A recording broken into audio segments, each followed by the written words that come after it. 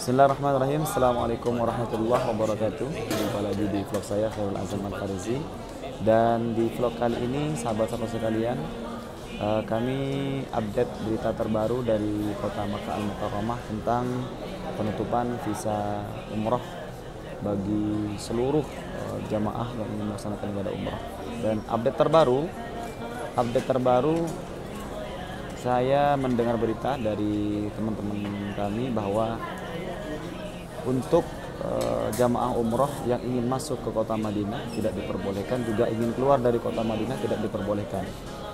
Uh, banyak teman-teman kami Motowif tadi memberikan informasi bahwa di checkpoint pertama itu memang sudah ada pencegatan dan banyak jamaah yang tertahan. Insya Allah nanti di video ini di akhir video kami akan berikan uh, videonya di mana saat itu kondisi atau suasana di saat teman-teman kita tidak diperbolehkan menuju kota Makkah Al Mukarramah sampai datangnya surat uh, izin dari Kementerian Kesehatan Arab Saudi. Namun di sini saya tidak sendiri, saya ditemani oleh teman saya Ustaz Rahim. Insya Allah beliau nanti malam jam 3 jam 3 jam 3 Arab Saudi beliau di Indonesia jam 7 tapi di sini jam 3 nanti beliau insya Allah akan live di TV One insya Allah sekarang kita tanya-tanya sama beliau uh, mengenai informasi Ustaz uh, informasi penutupan visa atau di stopnya visa umroh bagi uh, jamaah ini apakah cuma berlaku bagi jamaah Indonesia atau seluruh jamaah dari luar? Oke, assalamualaikum warahmatullahi wabarakatuh. Uh, untuk sahabat YouTube juga jangan lupa uh, update terbarunya mengenai uh, pencegahan yaitu tentang visa umroh atau uh, turis yang istilahnya turis yang masuk ke Arab Saudi seperti ini. Uh, mengenai pencegahan yang terjadi untuk yang saat ini update yang terbarunya, uh, saya langsung dapat dari informasi dari grup muasasah. Nah, ini suratnya terbaru. Nah, dan gimana artinya? Mungkin uh, ini Ustaz sudah dibaca. Oke. Okay. Uh, teman-teman perlu tahu muasasah itu apa sih? Muasasah itu adalah apa namanya?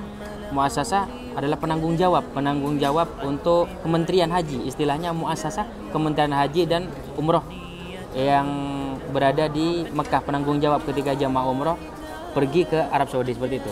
Uh, terus apa saja yang tertulis di tadi seperti itu? Kementerian Haji dan Umroh saya berada di tautan ini industri Kementerian Haji dan Umroh menekankan apa menekankan perusahaan dan institusi umroh dengan menindaklanjuti para ziarah.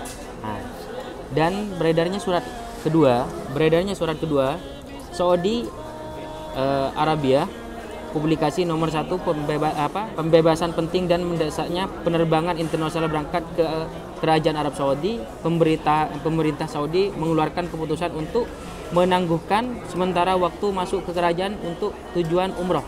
Jadi untuk tujuan umroh yang terbaru seperti ini sekarang memang yang landing di Jeddah untuk jam 7 pagi masih bisa. Nah, kalau jam 12 siangnya yaitu ketika berangkat dari dari Jakarta atau dari Soekarno Hatta ketika dari Soekarno Hatta berangkat di luar jam 7 karena ditutupnya dari jam 7 siang Ustaz seperti itu.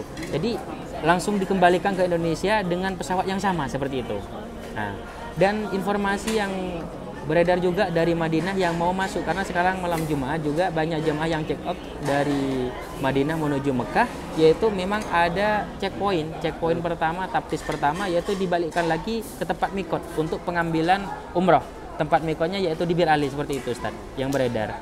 Tapi mengenai visa penutupan kapan dan kapannya untuk dibukanya lagi visa umroh eh, insya Allah update terbarunya kita lihat seperti apa ke depannya jangan lupa kita eh, apa namanya untuk update-update terbarunya kita lihat di YouTube kita seperti itu Ustaz ya.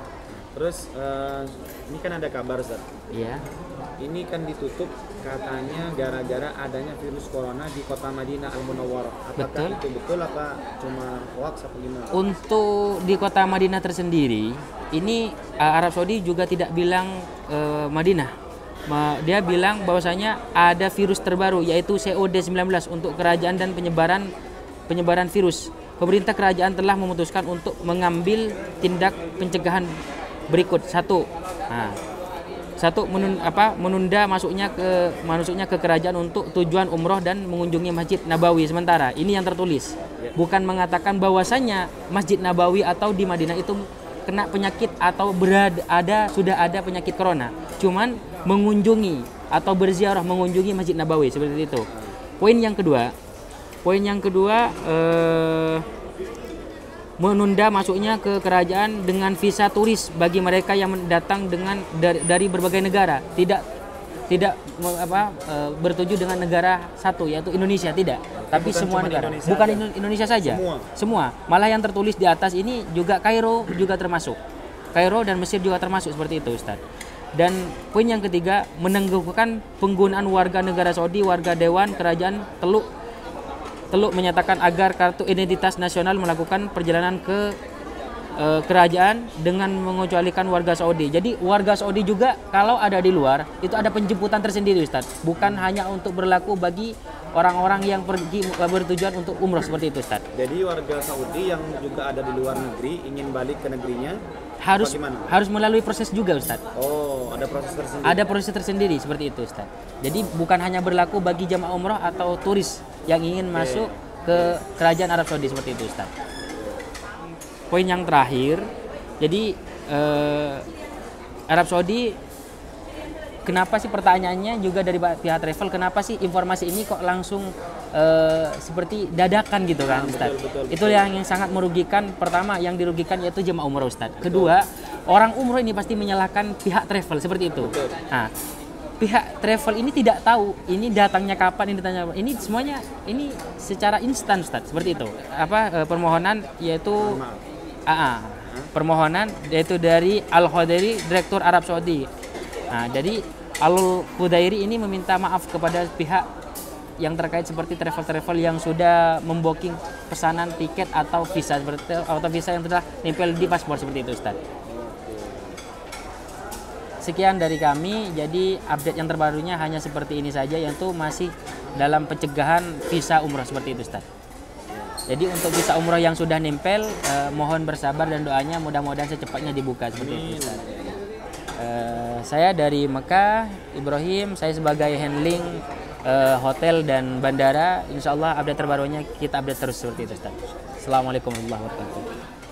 Jadi teman-teman intinya para jamaah sekalian yang berada di Indonesia kita dalam kasus ini mohon semua jamaah yang sudah tertempel visanya dan yang sudah berangkat ataupun yang sudah ada planning hari-hari sehari dua hari ke depan ini agar bersabar dan berdoa agar kasus ini cepat segera bisa ditangani dan visa umroh juga bisa segera dibuka.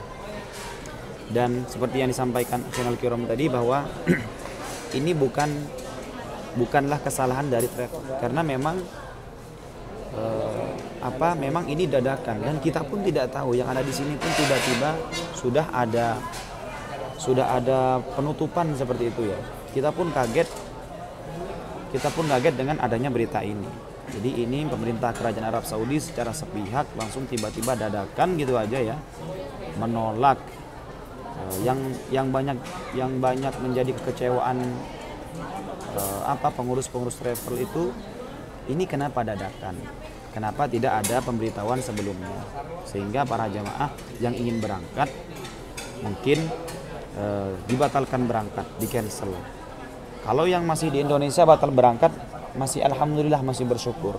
Ini saya dengar dengar kabar bahwa yang ada yang berangkat sudah transit ke Abu Dhabi. Dari Abu Dhabi itu dipulangkan dengan pesawat yang sama ke Indonesia. Satu pesawat. Bayangkan. Subhanallah. Jadi kita berdoa saja kepada Allah Subhanahu wa taala agar eh, bencana ataupun virus penyakit ini segera eh, tertangani dan segera dihilangkan oleh Allah Subhanahu wa taala. Dan kabar terbaru barusan dari teman saya teman saya tertahan dari checkpoint seperti yang disampaikan Akhirul Kirom tadi bahwa mereka tidak diperbolehkan masuk ke kota Makkah Al Mukarramah dan dari pihak handling kita pun yang dari Madinah beliau mengatakan bahwa bagi jamaah umroh dilarang masuk ke kota Madinah dan dilarang yang berada di dalam kota Madinah dilarang keluar selama 48 jam Jadi ini ini ini ini isu eh, katanya dilarang keluar masuk ke dari kota Madinah itu ke kota Madinah dan dari kota Madinah itu selama 48 jam 48 jam sampai ada informasi selanjutnya dari pihak kementerian kementerian eh, Saudi Arabia. Mungkin itu saja eh, update terbaru dari kota Makkah Al Mukarramah dan insya Allah jangan lupa nanti tonton live di, di TV One jam 7 pagi kalau di Indonesia ya. Kalau di sini jam 3 malam dengan sahabat saya tadi, insya Allah nanti akan ada kabar-kabar terbaru dari kota Makkah dan Madinah Al Munawwarah. Sampai jumpa di video-video berikutnya. Jangan lupa subscribe channel ini untuk berita-berita terbaru, kabar dari kota Makkah dan Madinah. Semoga kita semua selalu diberikan kesehatan Allah Subhanahu wa taala, dijauhkan dari berbagai musibah, dijauhkan daripada virus atau penyakit dijauhkan dari virus mematikan ini yaitu virus corona. Assalamualaikum warahmatullahi wabarakatuh.